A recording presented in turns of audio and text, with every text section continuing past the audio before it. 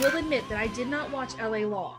So that was a little before my time. So, but I Wikipedia'd you and I saw that you had a very small role in Dr. Horrible Sing Along blog.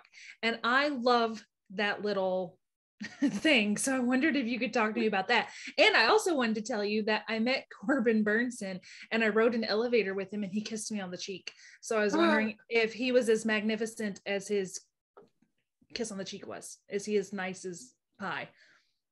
Yeah, he he's very um, personable. I will put that. Yes, definitely okay. personable. Loves women.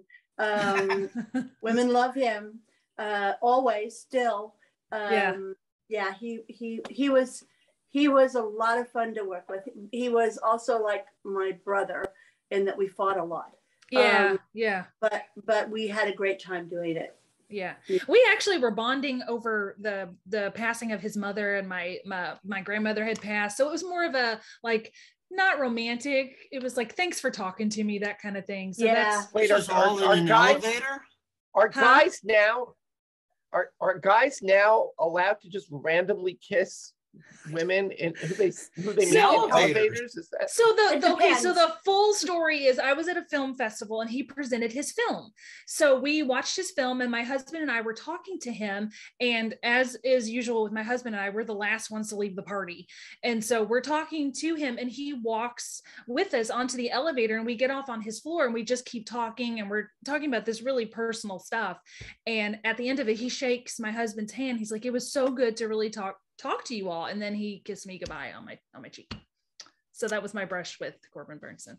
okay? Well, Well, that's- you know, That's Yeah. not like that is that's not like sexist or anything. That's No. just really sweet. Yeah, yeah, it was really, it was really. No, he can be a he has the ability to be an incredibly sweet person. Mhm. Um, he's just you know very So Ashley just asked her first question. I did. uh, Doctor that- Horrible. Dr. Horrible, yes. You know I, I'm going to be honest with you. I don't remember that. Okay. when was it?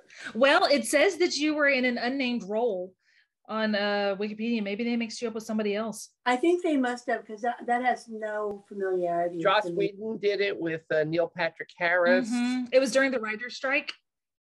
Oh, Isn't I Joss kind of Whedon remember say? it. I kind of remember it. I, I honestly, I don't, I don't have a specific recall of it. I remember Neil, but I don't remember what we did or what it was about or anything. You should Sorry. watch it. It's good. You, It's you good. could tell me, but what did I do? I don't know. I because it said you were in a small unnamed role, and I was like, oh, wonderful. I wonder who she was in it. So I was going to ask you who I'm you were And in to it. find out. I'll let you know. Okay, great. So clearly, it was the most mem- memorable role of her whole career in her whole Yeah. lifetime.